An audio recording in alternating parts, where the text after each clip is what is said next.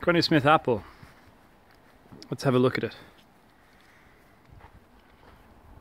Okay, so this Granny Smith apple is up against a south facing wall on M9 rootstock.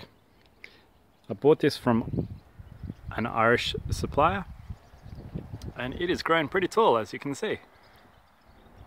Now, Granny Smith is an Australian apple and it is um, best grown in a very warm climate.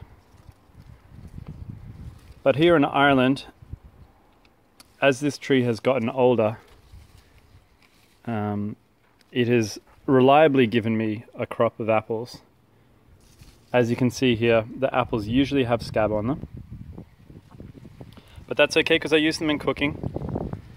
And there's some there's some scab on the leaf as well actually. Get out of the get out of the out of the shadows, there we go. Anyway, so it's pretty effect, badly affected by scab. But apart from that, it grows very strongly. And the apples are normally okay for cooking around the end of November. So they do hang on the tree pretty well. And it's a bit of an effort, really, in, when you can compare these, these green apples to maybe other green apples that are probably better suited to the Irish climate. Um, but the reason I'm growing this is because I grew up in Australia and this tree really reminds me of home and I absolutely love the taste of the apple pies that this apple makes.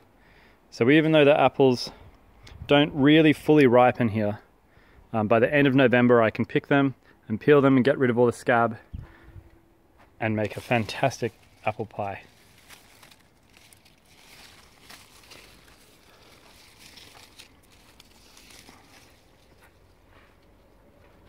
I haven't seen any bitter pit on these. This is all just superficial scab, so if I was to peel that apple, it would look perfect underneath. Um, it's just pretty unsightly stuff.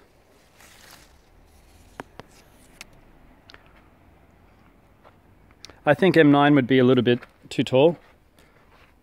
I'm just going to pull back out here. I'd probably go for an M27 if I could. As you can see, it, it, it really does want to get big. I've just got it behind the netting here as well. This is my netted elf area. Keep all the birds out. Um, keep going back so I can give you a, a good idea of the total size of the tree. It's the tallest M9 that I've got. And then like I said, it is a strong growing tree, but the scab really affects it.